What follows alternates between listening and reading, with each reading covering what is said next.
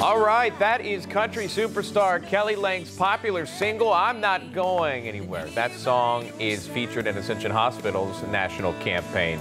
Kelly Lang is a 17 year breast cancer survivor, and Miss Lang joins us now. Good to see you, Kelly. Thank you so much for coming on this Friday. How you doing?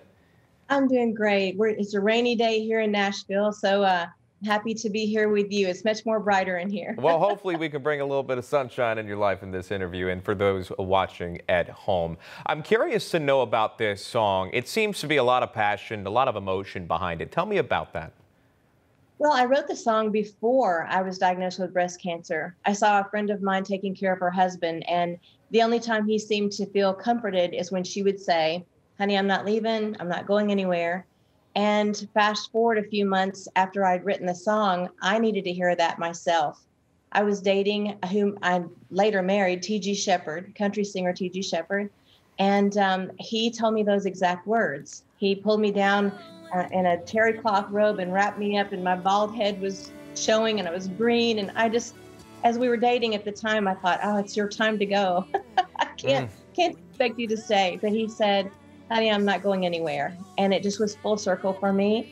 And then all these years later, when Ascension took that song to be their uh, theme song for their campaign, uh, it really came at the perfect time to honor nurses and doctors and those people that give such wonderful care to the patients that are left there and the families can't uh, be with them. Some of the families have even written me and said that song was of comfort for them too. So it's several full circle moments for me. Yeah, you mentioned the the it's it's so heartwarming because you mentioned the, the broader purpose that this song can bring. I mean, going through this pandemic, uh, you know, as as we have as a country, as divided as as we are, we've all had to face this at some point. Whether you've known someone or you know of someone who went through it, or closely you've lost someone uh, within your family, your friend group.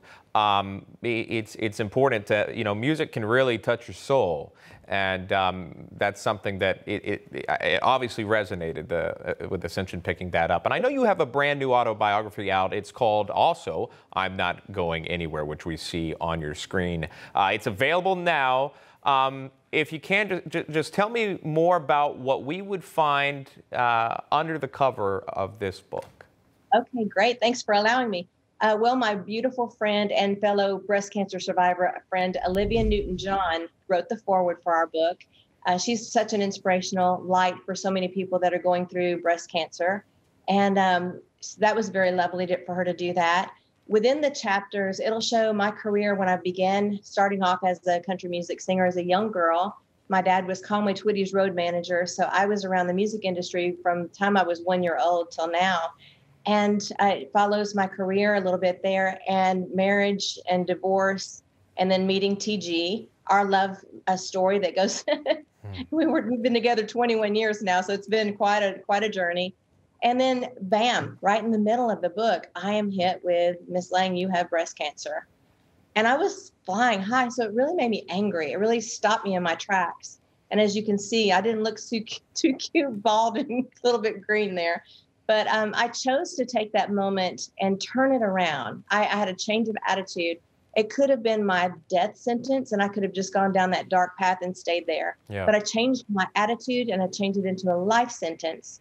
And this book is a gift back to people that that might have been in my shoes. Right. I wished I had somebody my age to talk with about it, and uh, this allowed me to get this off my chest to be able to be of some light for somebody else. Well, Kelly Lang, we appreciate the music. We appreciate the book. Uh, best to you and, and TG, 21 years. My goodness, everyone wants to know what the secret is, but I'm out of time, so we're going to have to have you back. .net or Amazon for the book. I would lovely appreciate that. you got it, Kelly Lang. All right, have a great weekend. Thanks for sharing your story.